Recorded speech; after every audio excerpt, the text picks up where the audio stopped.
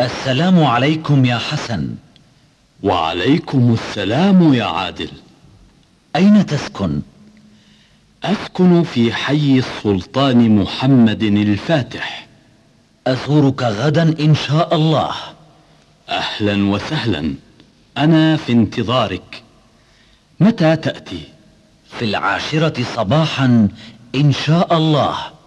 ما عنوانك؟